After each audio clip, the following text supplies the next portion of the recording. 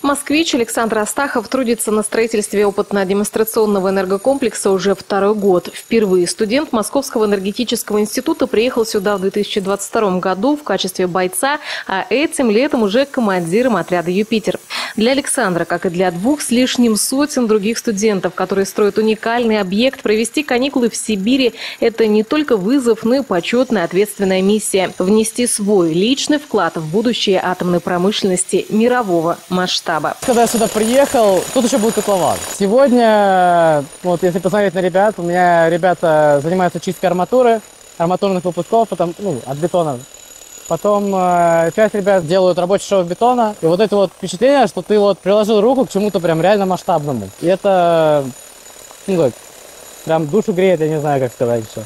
Александр подчеркивает, в будущем хочет трудиться в госкорпорации «Росатом». И опыт, который получает здесь, на строительстве АДЭК, обязательно пригодится. Ну и зарплата также момент немаловажный. Командир отряда «Юпитер» за два месяца получит около 70 тысяч рублей.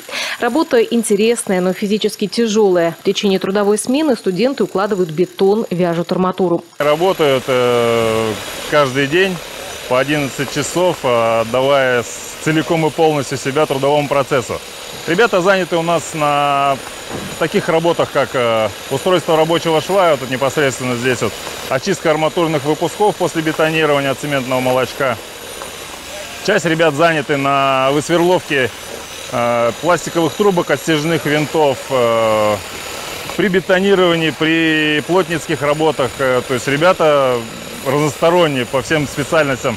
Часть ребят даже присутствует применили свои навыки в работе в армату в цеху производства металлоконструкций. Обязанности между бойцами распределяют командиры. Важно отработать смену в ударном темпе и качественно, ведь отряды соревнуются между собой в выполнении объемов, а они впечатляют. По итогам летнего трудового семестра 2023 бойцы стройотрядов уложили около 130 кубометров бетона и связали почти 40 тонн арматуры. Серьезная помощь строителям.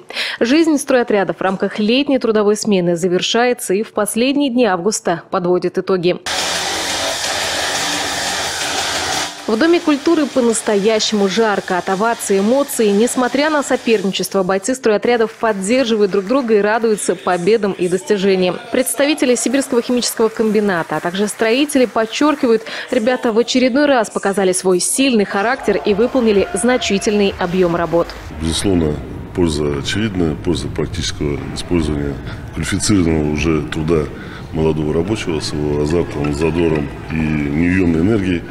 Э, ребята большие молодцы. На тех фронтах, которые им доверили, они э, были успешны. Они выполнили все задачи, которые перед ними ставило их руководство. Приехали те ребята, которые были в зимний трудовой семестр, прошлый трудовой семестр прошлого лета. Поэтому, по сути дела, мы просто встретили старых коллег, товарищей, друзей. Работали, а работали они, как всегда, очень ударно. В рамках церемонии закрытия названы имена лучших бойцов, мастера, командира и комиссара. Студенты отмечают, ли это запомнится надолго, а проект «Прорыв» навсегда останется в сердце. На «Прорыве» мне понравилось. Был в прошлом году в Озерске. По сравнению с Озерском, могу сравнивать, э, «Прорыв» — это более так уютно, тепло, э, меньше людей, зато больше возможностей показать себя. На такой позитивной ноте завершается трудовой летний сезон. Впереди ребят ждет учеба в вузах, а зимой многие отряды планируют вновь вернуться сюда, в Северск, чтобы продолжить работу на атомной стройке номер один в России.